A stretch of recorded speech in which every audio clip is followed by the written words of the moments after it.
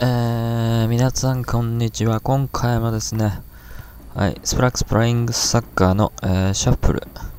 世界中の選手をランダムに選抜して一つだけのチームを作ると、やるたびに新しいチームができるモードです。はい、ハリー・ケインがいますね。アレクシス・サンチェスいますね。はい、これは強い。えー、ナイジェリアのフィンガーと、えー、誰ですか？ポルトガルのね、選手ですね。はい。で、あ、イニエストいいんじゃん。よし。これいけるぞ。はい。えー、コートジバルド選手。で、アルジェリアと、そうですね、アルジェリアのディフェンダーが揃っちゃいましたね。エクアドル、オーストラリア。なるほどね。あ、そうか。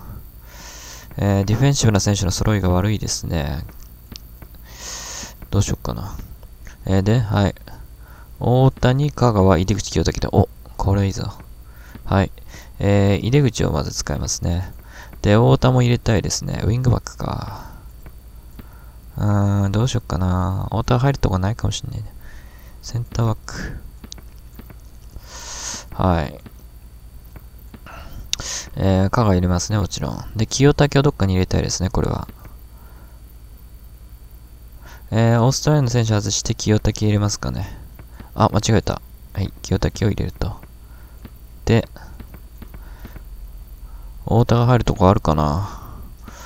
ないですね。サンチェスも全員ね、攻撃的な感じなんで。これでいくか。はい。イニエスタ入り口をね、真ん中にがっしり据えて、で、清武がトップ下と。で、アレクス・サンチェスね。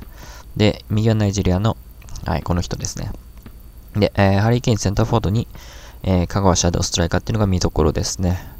えー、イニエスタが効く、あ、イニエスタで、清武がね、効くか消えるかっていうのは攻撃のえー、展開ね、ポゼッションにも影響してくると思います。はい、相手はコートジボワルと。これは難しい。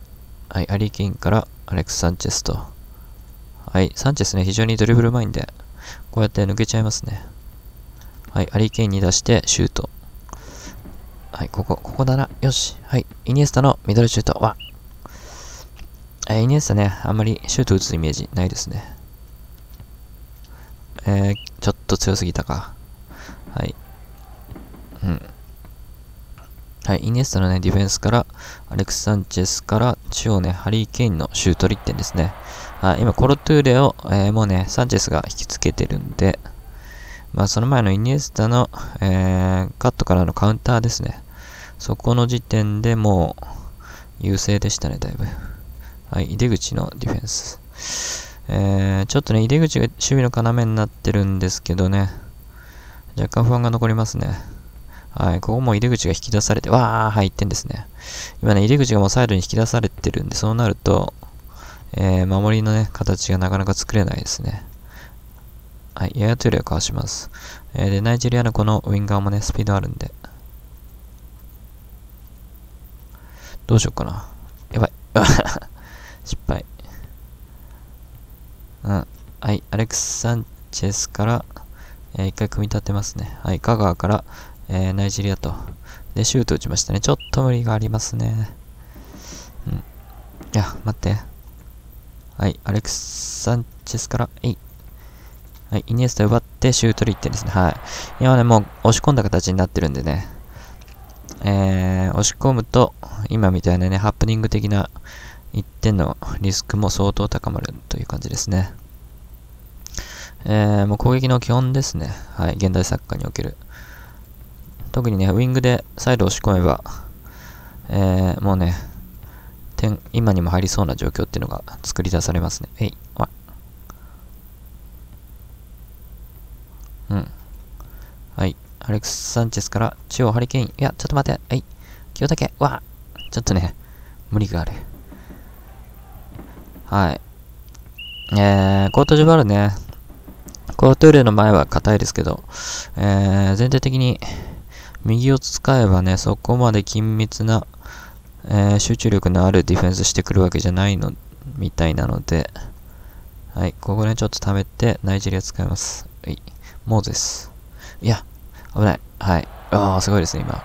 えー、これで、えー、引き出して、アレックス・サンチェスに、えー、スルーパス出し1点と、えー、モーゼスのね、非常にうまいプレーが出ましたね。えー、オーリエですね。2014年、ワールドカップでね、もう何回も言ってますね。はい、日本の左サイドをボロボロにしたオーリエ。長友がね、裏をしょっちゅう取られて、大変でしたね、あれは。うん。はい。やっぱりね、コートジバール非常に、えー、世界トップクラスの選手、えー、ジェルビーニョもね、ヤヤトゥーレもトップクラスなんでね、そういう選手を擁してるんで、えー、切り合いになった時ね、いくら長友香川といえども、えー、有利じゃないんですね。やっぱり。切り合いでは負けてしまうということで。そういう意味ではね、やっぱり、えー、まずディフェンスからね、入るのが何より重要だと思いますね。やばい。わー。はい。今、うわー、危ない。はい。えー、ジェルビーノがね、クロス上げてくれたからよかったですけど。いや、危ないね。はい。今のはもうほとんど失点のパターンですね。待って、はい。やば、やトゥレ。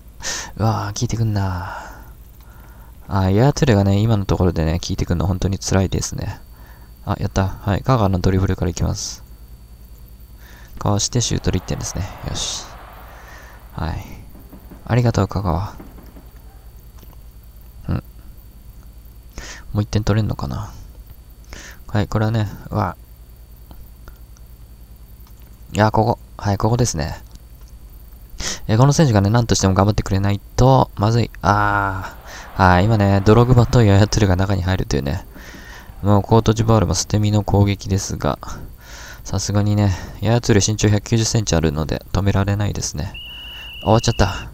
いやー、この1点ですね、最後の。ちょっとね、えー、コートジバールの強さが出た1点だと思いますね。ジェルビーニョがサイドえぐって、えー、中央ドログバっていうだけでも怖いんですけど、そこにね、ヤヤトゥルも入ってくると、なかなか難しいですね。まあでも結果的に5点取れたんで、この5点は、えー、えー、大量得点だと思います。えー、ハリケーンセンターフォードね、えー、香川シャドウにして、左を、えー、アレクス・サンチェスと、で、清武トップ下にしてね、えー、右ナイジェリアのモーゼスですね。で、真ん中イニエスタで、えー、アンカー兼、センターバックに井出口と。まあ、井出口にはちょっと荷が重かったですね。はい。まあ、もともとね、センターミッドフィルダーなんで。えー、でですね、やっぱりサンチェスのサイドがかなり、アレクス・サンチェスすごい効いてましたね。えー、ほぼね、コートジバールついていけませんでしたね。はい。まあ、清武がのパスも良かったし、イニエスタもね、えー、攻守にわたって効いていたと。特にね、攻撃の時のパスの正確性っていうのは、えー、一つのね、こっちの攻撃を成功させる要素になったと思いますね。はい、まあ、もちろんハリケーンも良かったです。香川真司もね、シャドウストライカーとして、えー、十分働いてますね。今回はドリブルのシュートもあったので良かったと思います。